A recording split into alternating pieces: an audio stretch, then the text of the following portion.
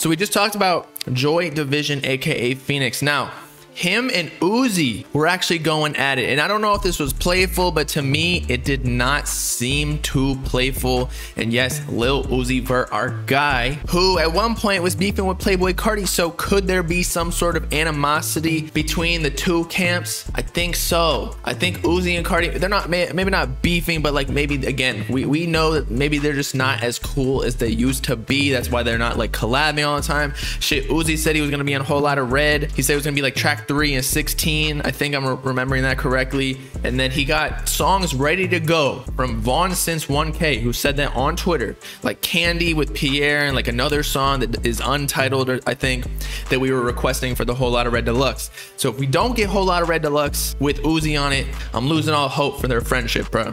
And I know we had that new snippet, Sauce Real Hard, that ended up just being Sauce, I think, from Bloody Osiris, or I don't know who posted on their Instagram story story, but they they showed the title of it in their iPhone notes. But I feel like that was an old song because Carti was like on his old flow from like the 1629 era. That I mean, that's just my opinion. It could be a new recording. I have no idea. Plus, actually, in 2020 they recorded SRT, but we don't know. Uh, maybe they were forcing it. I I don't know. I really don't know. Maybe they are cool. Maybe they're still best friends behind the scenes. But either way, this is what happened between Joy Division and Lil Uzi Vert. Joy simply just went on his Instagram story who got more posting his Ricks or whatever. I don't I don't even know what type of shoes these are, but these definitely look like Carti been rocking them when he was doing like his little live concert on Twitch. Okay. And then Uzi soon after says, I got the most Rick and more money than your boss. Again, Joy posts Ricks, and then Uzi posts this. I got the most Ricks. We got more Ricks. Who got more? Uzi says he got more. And I've got more money than your boss. And your boss, I think, in my opinion, would be Playboi Carti, obviously, because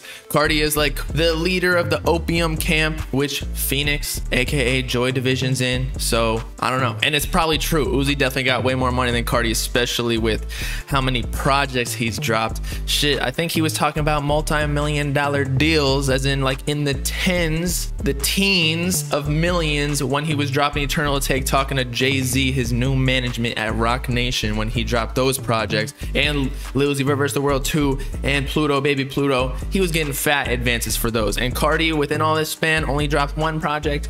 My guy, if you want more money than Uzi and more Ricks, and to compete with Uzi's number of Ricks, all you gotta do is just drop. But anyway, then Joy Division responds, Money can't buy style. Seems like a direct response to me. I got more money than your boss, Uzi says. Money can't buy style. Saying Uzi don't got style or he doesn't have as good of style as Joy. Y'all tell me I'm not a big fashion icon. I just posted a vlog where I just went to Zara and bought like a hundred dollars worth of shit.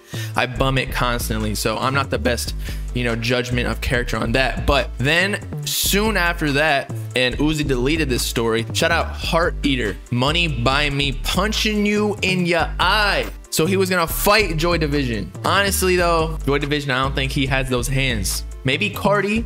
Carti's like what, 6'1, 6'2? I think he could take Uzi after what he did to little boy at the parking lot who Carti was banging on his sister. But I don't think Joy can take Uzi. Uzi is too scrappy with it. And we've already seen those boxing videos and shit like that. Yeah, Carti can fight. That's what I'm saying. And then I don't think anything else happened after that. But yeah, so there might be some animosity in conclusion between Opium and the 1600 camp, not the 1600 camp, but Uzi's camp, whatever they're called, him and his boys.